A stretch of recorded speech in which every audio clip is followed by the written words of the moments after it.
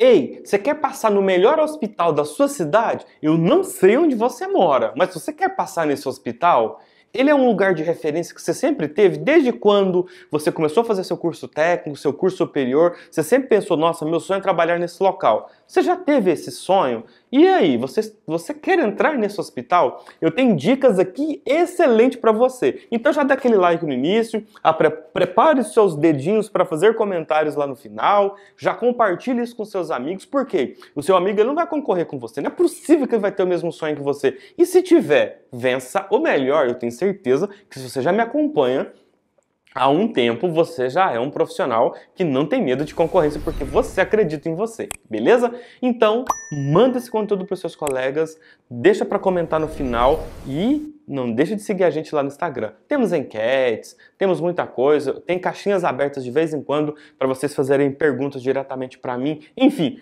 aproveite o nosso Instagram para seu crescimento profissional. Galera,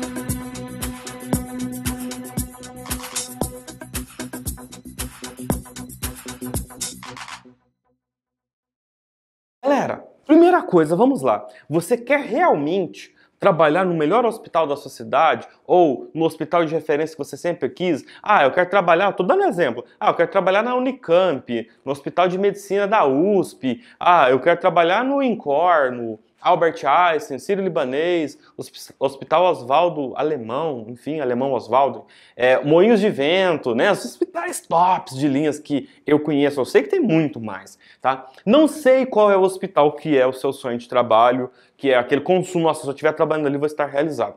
A primeira coisa que eu te falo é, para qualquer coisa na sua vida, você precisa de estratégia. O que, que é estratégia? É você pensar estudar as formas que existem para chegar no ponto B. Então você está no ponto A querendo trabalhar no hospital, o hospital ponto B. Então, do ponto A ao ponto B, você vai ter que fazer algumas coisas que a gente chama isso de estratégia, de planejamento, de organização. Não sei como você quer chamar, não precisa usar palavras difíceis, não. Você tem que pensar o seguinte: você quer ir do ponto A para o ponto B e é o seu sonho.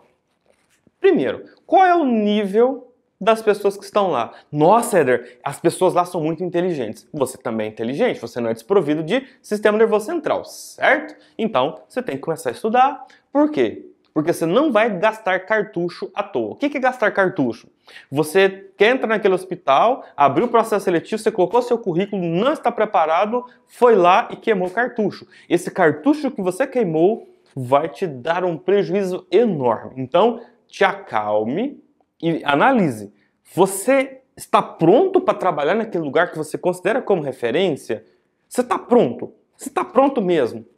Se você tivesse um processo seletivo agora, durante esse vídeo, se agora fosse um processo seletivo, seja para técnico, seja para enfermeiro, você está pronto?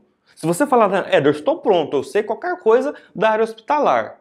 Então, esse, essa meta já, já foi atingida. Então, por aí para o ponto B, você precisa estar pronto. Imagina só, vamos, vamos pegar agora um outro exemplo. Do ponto A para o ponto B, imagina que você esteja caminhando é, no deserto. Não tem como você ir para o ponto B sem uma água, sem alguma coisa. Você vai o quê? Tem insolação, vai padecer no meio do caminho. Então, se você já tem um conhecimento, beleza. Né? Senão vai acontecer o quê? Nadou, morreu na praia foi chamado para fazer o processo seletivo, passou na prova teórica e deu ruim na prova prática e na entrevista, porque você não estava pronto, você perdeu o cartucho. Por que você perdeu o cartucho?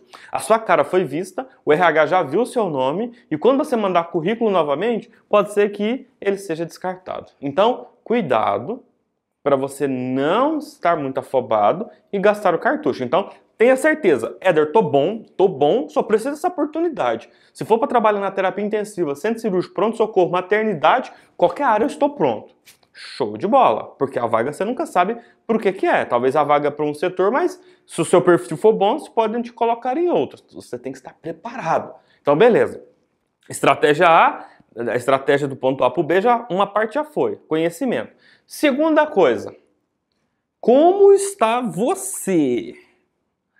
Como que está a sua cabeça? Como que está a sua mentalidade? Você é mentalidade aberta, fechada? Ah, Edra, por que é aberta e o que é fechada? Explica esse negócio aí que eu não sei. Fechado é o cabeça dura. Pessoas que não aceitam muito o que as pessoas falam. Pessoas que têm suas opiniões próprias e elas não mudam por nada. Essas pessoas com mentes fechadas, geralmente elas tendem a ser reprovadas com o psicólogo, porque o psicólogo ele quer avaliar se você é uma pessoa que tem uma flexibilidade é, ou uma dinâmica no seu pensamento. Qual é? Você é aberto ou fechado? Ah, Eder, eu não aceito tudo, mas eu sou maleável. Então você tem um pouco da mente aberta. Entenda, você precisa ter a cabeça aberta para ouvir absorver e depois você decide. O cabeça fechada, ele não deixa a pessoa falar, não, a pessoa não consegue falar e a pessoa então já é descartada. Ó, o cara não consegue nem ouvir, porque se você tem sua opinião, primeiro ouve a opinião de quem está falando com você. Isso é pra vida. Deixa alguém falar. Ouviu? Tá, agora é sua vez. Absorveu a informação? agora é sua vez. Então talvez você tenha que fazer algum tratamento com você, com um psicólogo, alguma coisa assim. Ah, eu sou muito nervoso. Então você tem que fazer um tratamento para o seu nervosismo. Ah, se você está nervoso, vai para um processo seletivo, você está gastando seu cartucho, você não vai passar na vaga, você sabe tudo, tem muito conhecimento, mas você não tem controle emocional. Se você não tem controle emocional, você está perdendo uma oportunidade de trabalhar num hospital top, talvez até num hospital que não seja top, que não seja o que você quer. Mas você está perdendo por quê? Porque você tem que trabalhar você. Então, uma coisa é conhecimento, você já tem, outra coisa é você. Então, se você não trabalhar você, você vai ser descartado, talvez pelo psicólogo. Nossa, eu não entendi. Fui fazer um processo seletivo, tinha uma pessoa lá que não era enfermeiro, pediu para fazer uns risquinhos, pediu para fazer não sei o quê, montar um negócio lá com a cartolina, trabalho em equipe, não sei o quê. Então, são nesses pontos que você tem que pensar que do ponto A para o ponto B, eles existem. E como se eles fossem obstáculos, tá? Como se fossem obstáculos, mas que são, na verdade, formas de testar quem você é. Ou você acha que o hospital top que você quer ir, lá é um mar de rosas. Não, lá tem paciente doente, lá tem pacientes graves, lá você vai ter problemas com equipe, problemas com chefia. Problemas, gente, está naquele lugar para você resolver. Se o hospital não tivesse problema, não tivesse doente, ele não era hospital, não seria um lugar que te contrataria. Então, a gente precisa entender se você consegue passar isso para quem está te entrevistando de uma forma tranquila. Se você hoje é a mente aberta, consegue fazer tudo isso, então aí, é, os, os dois pontos principais para você chegar no ponto B já estão tranquilos: conhecimento e controle emocional de você mesmo, tá? Agora, a terceira etapa e última é como é feito o processo para entrar naquele local? É um processo seletivo? Tem que enviar currículo no site? Tem que enviar um currículo em papel? Não sei. Qual que é a forma? É, é uma empresa que faz o processo seletivo? São quantas questões? Você tem que começar agora a estudar a estratégia para você entrar. Ah, ele lá diz que é uma prova com 50 questões, 30 questões, e ele diz que cai tudo, até SUS cai na prova. Então você tem que estudar. Você, ó, vai estudar. E para, pelo amor de Deus, tenha mente inteligente, para de entrar nesses grupos de Facebook perguntando: alguém já fez processo seletivo no Hospital X? Como que é a prova? Deixa eu te contar. Você acha que só você que está naquele grupo? Não. Você acredita que naquele grupo tem gestores de RH que fica vendo? Ah, fulano está perguntando aqui, então quer dizer que eu vou mudar então a forma do processo seletivo. Pare de ficar perguntando como que é o processo. Para que, que você quer saber como que é as questões, o que, que o gestor pode perguntar. Esteja pronto, esteja preparado. Você não está pronto? Então esquece. Foca, foca, tá? Não fica olhando o grupo de fofoca. Para mim é um grupo de fofoca. Ficar perguntando o que, que cai no hospital é como se estivesse pedindo cola. É como se você não fosse suficiente. Aí o que, que acontece? Aí você fica bitolado porque alguém teve uma experiência negativa e quando chega a sua vez você fica preocupado porque você leu tanta coisa negativa de processo seletivo ali e você, no seu melhor momento, você pode estar perdendo a sua vaga, perdendo a sua oportunidade, porque você está ouvindo pessoas que não se deram bem. Essas pessoas têm o mesmo preparo que você? Essas pessoas estão tendo estratégia para, ah, não consegui passar aquele hospital, demorou me dar retorno, a mulher me fez umas perguntas lá, não sei o quê. Mas ela está preparada igualzinho você?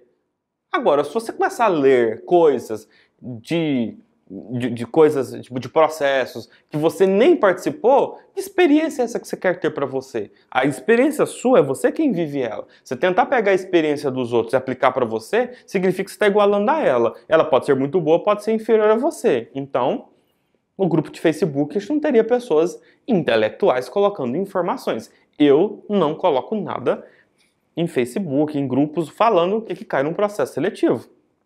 Tá? O que cai no processo seletivo, eu tenho um monte de vídeos aqui falando. É conteúdo de enfermagem. Se você está preparado, então não tem que se preocupar. O que eu quero que você se preocupe é a forma que é feito o processo seletivo. Você tem que enviar currículo, tem edital, leia edital, leia tudo para você entender como que é feito aquele processo. Tem gente que não lê, tem gente que tem dificuldade para ler. Se eu falo assim, gente, eu vou dar uma aula disso. As pessoas, qual é o link? Tá escrito lá, link na bio. Tem gente que não sabe o que é bio. Tem gente que é, não, não, leu nem a informação toda. Tem gente que eu vou dar uma aula, a pessoa já quer o certificado. Então a primeira coisa você tem que ler as coisas. Então, leia o processo, lê, lê como que é o processo lá. Fica atento ao seu e-mail. Você colocou seu e-mail lá, mas você nunca olha o e-mail. Nossa, o mês passado me chamaram para fazer o processo seletivo no Hospital X e eu nem vi. Perdeu oportunidade. Queimou seu cartucho. Não queime cartucho à toa. Então, se você quer entrar no hospital de referência, estude como que é o processo lá. Ah, tem que ficar de olho no site, porque lá abre o processo seletivo lá e, e fecha em dois dias.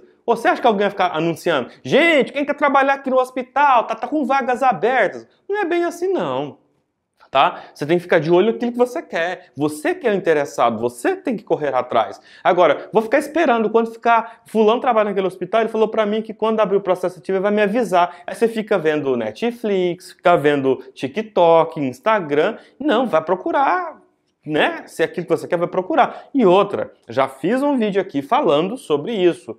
É só esse lugar que serve para você trabalhar. Você não pode mudar de onde você está para algum lugar que tem uma oportunidade de emprego para você, ou você tem que ficar esperando de braço cruzado aquela instituição abrir vagas para você conseguir um emprego na sua área, né? Então pense direitinho, tá? Se aquele hospital que você quer, você tem que ter estratégia. Uma das estratégias é você estar com tudo preparado. Currículo, ah, currículo é o de menos, tá? Então para quem quer currículo, ó, eu vou deixar aqui embaixo nas descrições, tem um modelo que eu gosto. Currículo é uma página só frente Esquece currículo grande, acho que currículo grande não significa nada, tá? Porque as pessoas te conhecem pelo que você coloca lá. Não adianta colocar um zilhão de coisas que isso não vai ser nem lido, não. Se for muito extenso, aí a pessoa nem te chama. Porque a pessoa está indecisa, não sabe nem o que é da vida. Beleza? Espero você no vídeo de amanhã.